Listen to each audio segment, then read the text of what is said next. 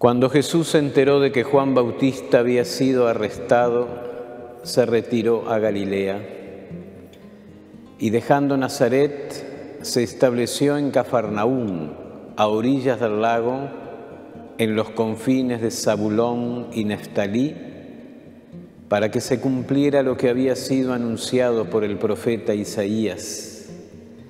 Tierra de Zabulón, tierra de Neftalí, camino del mar, país de la Transjordania, Galilea de las naciones. El pueblo que se hallaba en tinieblas vio una gran luz. Sobre los que vivían en las oscuras regiones de la muerte se levantó una luz. A partir de ese momento, Jesús comenzó a proclamar, conviértanse porque el reino de los cielos está cerca. Jesús recorría toda la Galilea enseñando en las sinagogas de ellos, proclamando la buena noticia del reino y sanando todas las enfermedades y dolencias de la gente. Su fama se extendió por toda la Siria y le llevaban a todos los enfermos afligidos por diversas enfermedades y sufrimientos, endemoniados, epilépticos y paralíticos, y él los sanaba. Los seguían grandes multitudes que llegaban de Galilea, de la Decápolis, de Jerusalén, de Judea y de la Transjordania. Palabra del Señor. Queridos hermanos en nuestro Señor Jesucristo, seguimos de la mano en la primera lectura del apóstol San Juan, en esta ocasión la tercera carta. El apóstol San Juan es un apóstol que ha sido llamado el gran teólogo, evangelista y teólogo. Y vieron que cuando uno lee los escritos de Juan, como que presenta unas enseñanzas muy, pero muy, pero muy profundas. Pero lo hace en un lenguaje que a veces uno no termina de entender bien, porque es un lenguaje que va como, como dando vueltas, como que toma las mismas palabras y una vez lo dice de una manera y enseguida lo dice de otra manera. A mí me gusta siempre ponerlo como ejemplo, como parecido en la música a Bach. Uno agarra una música de Bach y de repente en un pequeño grupo de notas lo va poniendo de distinta manera y va como jugando con eso y siempre nos está diciendo cosas distintas y armoniosamente muy bonitas. Y a veces uno vieron que cuando lea San Juan pueden pasar años oyendo sin terminar de entender toda esa profundidad y toda esa belleza que está ahí. Por eso, cuando leemos a San Juan tenemos que pedirle siempre al Espíritu Santo que nos ayude para poder alimentarnos un poquito mejor, para recibir eso que fue escrito para nosotros, porque el mismo Juan dice en el Evangelio, estas cosas han sido escritas para que ustedes tengan vida, para que sepan que tienen vida. Y nosotros, como que queremos encontrar esa vida abundante que está ahí en la palabra de Dios. A veces nosotros los cristianos vemos como las contrariedades de la vida, los caminos que de repente tenemos que elegir, la postura que a veces tenemos que tomar en la vida y parece que alguna de esas nos puede llevar lejos de nuestras creencias religiosas. Es como, como un rompernos a veces interiormente al no saber si estamos actuando o no estamos actuando según el corazón de Dios. Bueno, yo creo que este fragmento de esta carta de Juan que escuchamos en la primera lectura de hoy es una luz muy bonita para seguir caminando en esa confianza de que si intentamos seguir lo que allí San Juan nos dice, estaremos muy cerca de vivir según el querer de Dios. Y ahí en este pequeño fragmento se nos habla de orar, se nos habla de creer y se nos habla de amar. Y son como tres términos, tres acciones y tres opciones que van siempre unidas. Y nosotros esto lo tenemos que tener bien claro porque todos los pesares que tengamos en la vida, y todos los tropiezos que tengamos en la vida es porque muchas veces nos empeñamos en separar estas tres actitudes.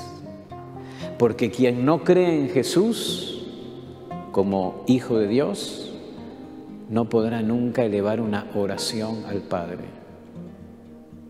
Y su corazón va a estar siempre como inquieto y vacío ya que no va a poder llegar a conocer la profundidad de la amistad y del amor con el que Dios lo ama.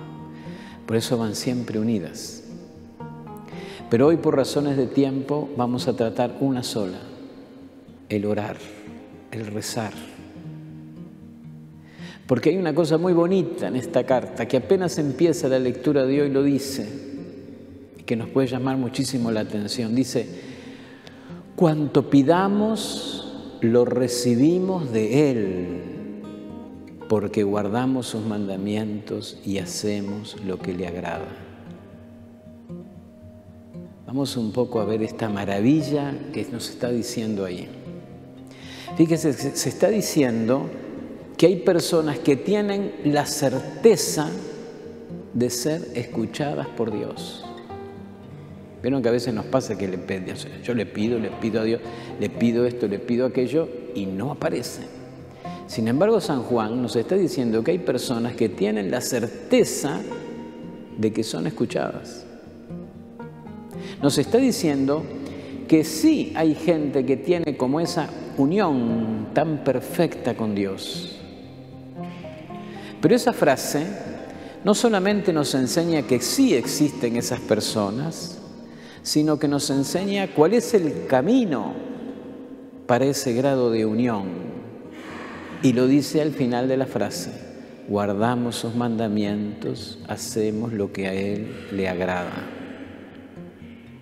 Es algo así, si yo aprendo a conocer, si yo aprendo a amar, si yo aprendo a seguir la voluntad de Dios, de algún modo podemos decir que Dios atiende mi voluntad. Si yo atiendo la voluntad de Dios, Dios atiende mi voluntad.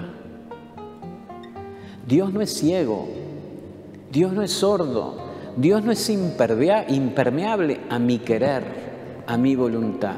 Es como un círculo de amor. En la medida en que mi vida se va llenando del amor de Dios, se va llenando de la sabiduría de Dios y se va llenando del estilo de Dios, mis deseos cambian. Ahí está la profundidad de la enseñanza. Mis decisiones cambian.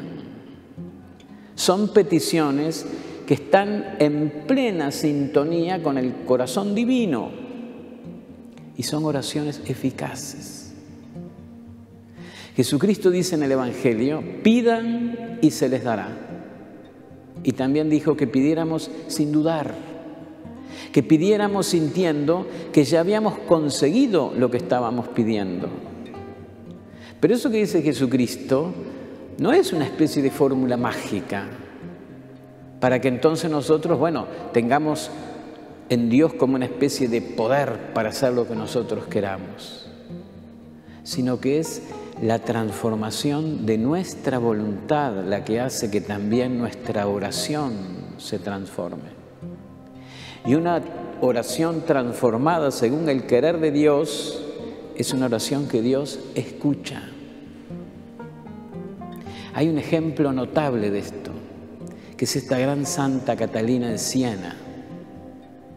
Ella le dice a Dios, yo quiero,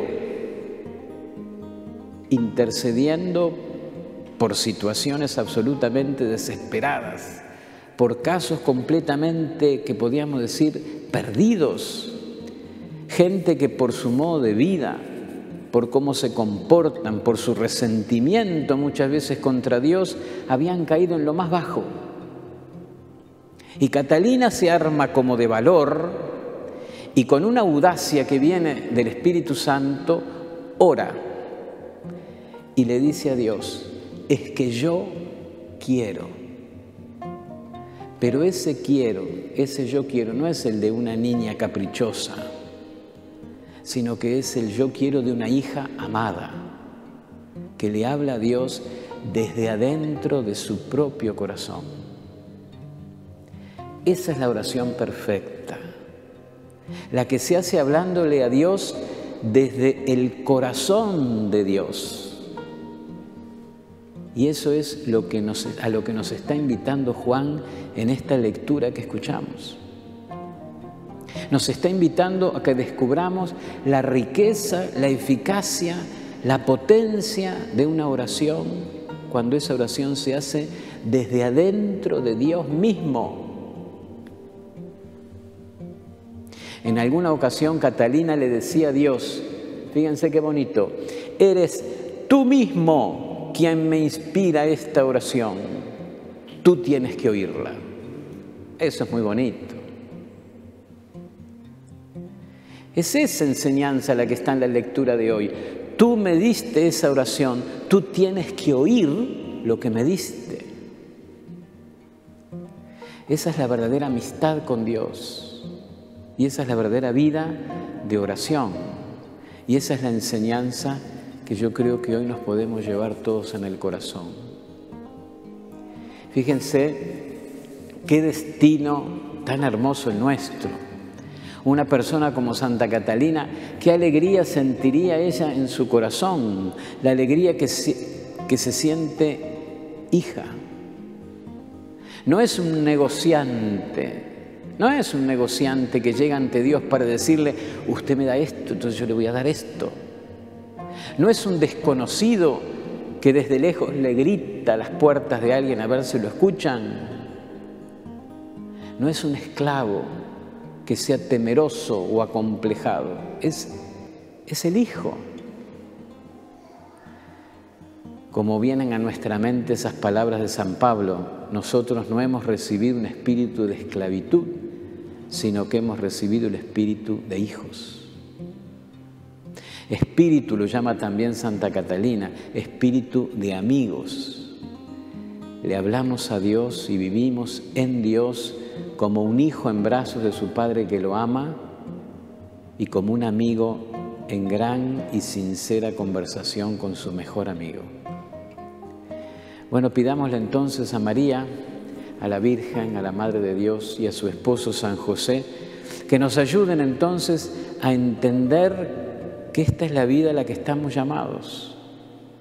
Y a través de esa obra que el Espíritu Santo realiza en cada uno de nosotros, nuestro corazón se transforma, nuestra mirada cambia, nuestro conocimiento de la voluntad de Dios crece y nuestra oración alcanza una eficacia inmensa, maravillosa, llena de provecho para todos.